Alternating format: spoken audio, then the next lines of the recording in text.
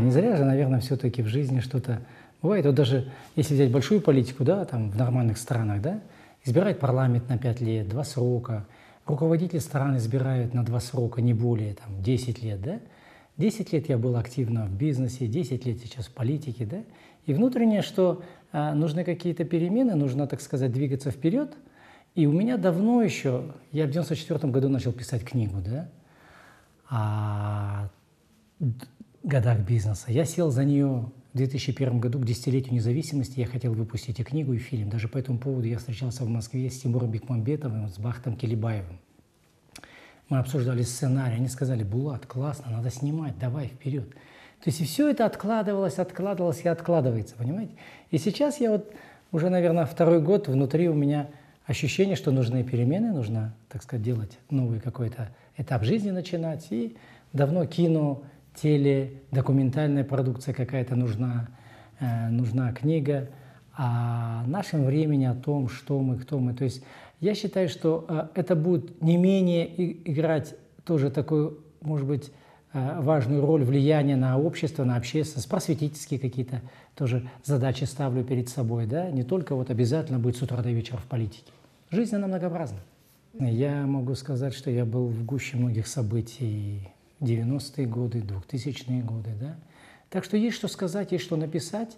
И я не всегда приветствую, когда люди пишут, когда уже человек сам давно на пенсии, глубоко, так сказать, уже в возрасте. Тех людей, о которых он описывает, их нет живых, ситуацию уже никто не помнит. А есть задача чуть-чуть, особенно сегодня нашему молодому обществу, да, люди, кто в интернете много времени проводит, показать на самом деле, какие были 90-е годы, да, что мы хотели, о чем мечтали. То есть книга будет о разном, и фильм будет о том же, да. Э, мы прожили, условно говоря, жестокий 20 век, да, казахская степь, казахский народ. Какой он был, что было. Я пока считаю, что к...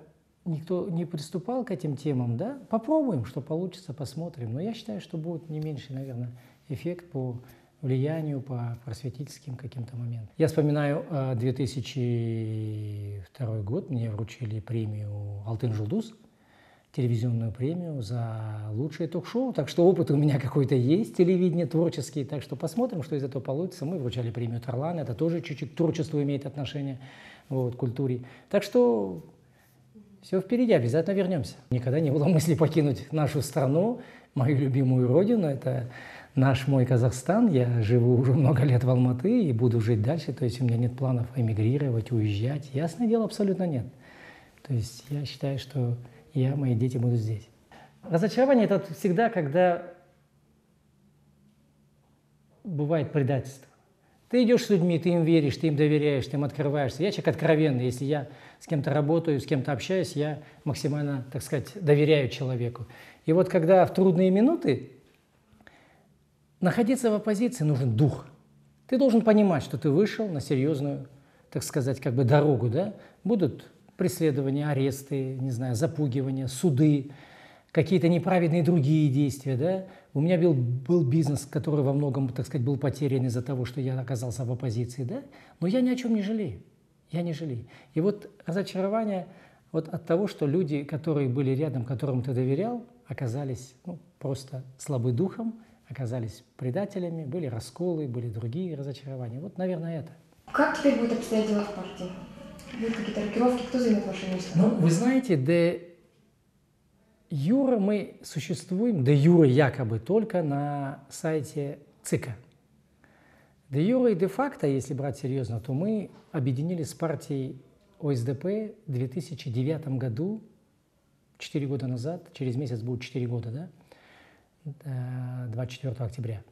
То есть это произошло, это было фактическое объединение, слияние, да? но власть несколько лет не регистрировала, и фактически сегодня партия Азад де юра де факто нет. То есть вот такая ситуация, с одной стороны. Поэтому двигаемся вперед, все только начинается.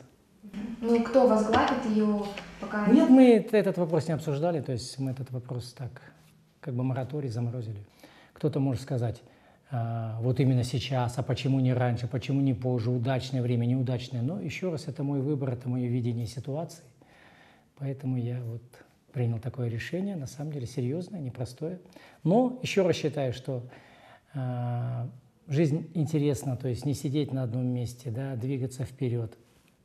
Кто-то, если выбрал себе путь в политике, думает, все, это пожизненный путь, я вот добился какого-то кресла, руководителя, чего-то, и это мой жизненный, так сказать, э, путь и до конца. Ну, для меня это не совсем так, не совсем так. Еще раз, я вернусь в политику, но я считаю, что мы должны быть гибкие.